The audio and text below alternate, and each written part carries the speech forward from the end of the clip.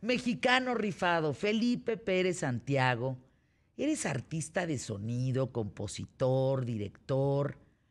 Oye, a ver, Felipe, cuéntame. Me imagino que has tenido mucho éxito, por eso eres un mexicano rifado. Pero, ¿qué te topaste en el camino para llegar al éxito? Cuando te caíste, ah ¿cómo te levantaste? Cuéntanos. Bueno, antes que nada, hola Fernanda, qué, qué gusto saludarte, qué placer estar en tu programa, de verdad, este, bueno, ya sabes que yo además soy muy fan de tu programa, muy fan de lo que haces. Gracias. Y para mí es un, es un verdadero honor estar aquí de regreso, de regreso contigo. No, me encanta, eh, bienvenido, te veo muy bien, eh, traes su barba, sus lentes, estás bien guapo, Felipe, no, no se andan desmayando por ahí cuando te ven. Muchas gracias. Pues ahorita no me ve nadie porque ando encerrado, pero espero que al, al, igual, al, igual, al igual que todos y nada más poniéndome, poniéndome más canoso, eso sí. Qué adorado. En fin, cuéntame cuando te caíste, porque el éxito lo tienes, eres un mexicano rifado, pero cuando te fue mal, ¿cómo te fue? Pues mira, como alguna vez te platiqué en otra emisión de tu programa, este, pues yo tuve la oportunidad de, de, vivir en Europa muchísimos años. Estuve viviendo en Holanda por 15 años y pues bueno, hubo sus momentos maravilloso, sobre todo cuando era estudiante y tuve la oportunidad de estar en un conservatorio tan increíble como el Conservatorio de Rotterdam en Holanda, que fue donde hice todos mis estudios, pero pues también como buen estudiante, pues viví las buenas, las malas y las peores, ¿no? O sea, sobre todo a nivel económico, cuando pues como todo buen estudiante, pues tuve que lavar platos, tuve que trabajar de mesero, eh, tocando la guitarra en bares, este, trabajando de DJ en antros, etcétera, pero la verdad es que sí fueron momentos difíciles, pero también fueron momentos que me han dado una enseñanza tremenda y que me han pues también enseñado muchos valores y sobre todo me han enseñado a apreciar los buenos momentos y a apreciar las, los momentos de bonanza y, este, y agradecer pues que ahora, pues yo no sé si llamarle éxito, suerte, lo que sí sé es que yo le llamo mucho trabajo y que tengo la oportunidad de hacer mi trabajo, de ser retribuido por él, de ser reconocido por él y sobre todo lo más importante de mi trabajo, de compartirlo con la mayor cantidad de gente posible. Me encanta oírte hablar porque cuando uno llega y es mexicano rifado y tiene, eh, pues eres un artista residente del SETI Institute, el Search for Extraterrestrial Intelligence en California, director artístico del proyecto Earthling, encargado de mandar los sonidos de de la humanidad en misiones espaciales. Yo quiero hacer un programa contigo nada más de eso, de esos temas. Pero encantado. Aquí le pido a Emilio, por favor, Valles Vidrio, que te programe para que nos platiques qué es eso, o sea, de qué hablas, de qué, estudias ahí, pero eh, uno habla del éxito como si amaneciera y lo trabajara y lo pensara y se diera en una semana. Pero es bien importante ver que para ser rifado, pues te la ves negra, ¿no? de repente pasas aceite y pasas al lado de, gente que es tu enemiga, de gente que no te ayuda a avanzar, ¿no? ¿Recuerdas haber tenido esos temas en tu vida de gente que al contrario, te, sin decir nombres quizá porque no quieras, ¿no? Pero, ¿qué te hicieron? ¿Qué oportunidades se quedaron en el camino de crecimiento para ti?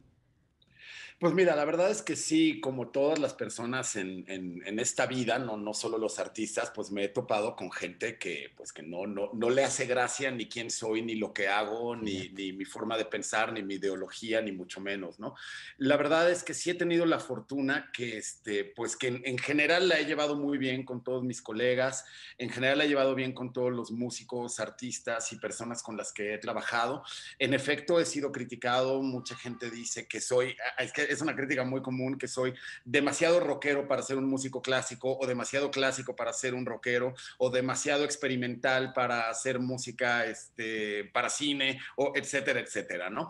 Pero pues también eso habla de que eh, pues yo he, he intentado llevar mi música a la mayor cantidad de gente posible por medio pues del cine, por medio de los conciertos, por medio de los ensambles que he dirigido, por medio de, de las orquestas con las que he trabajado y también con los artistas con los que he tenido la, maravillosa oportunidad de, colaborar, ¿no?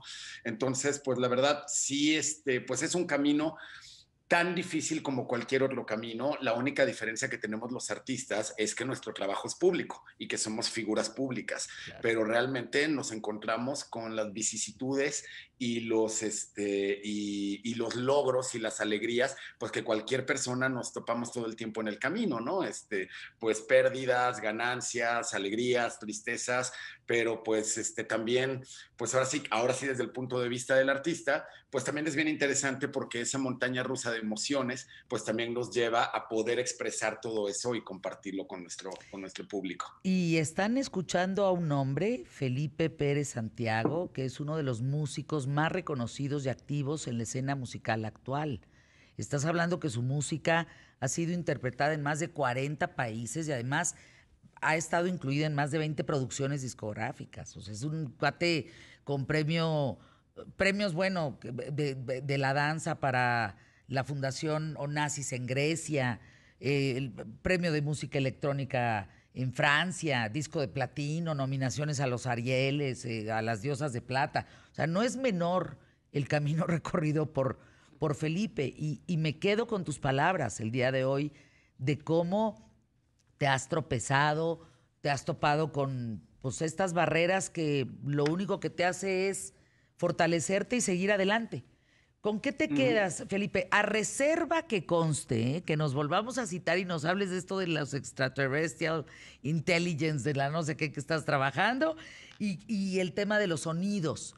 Mandar sonidos de la humanidad en misiones espaciales. ¡Wow! No puedo creer. qué, qué raro trabajo, qué maravilla.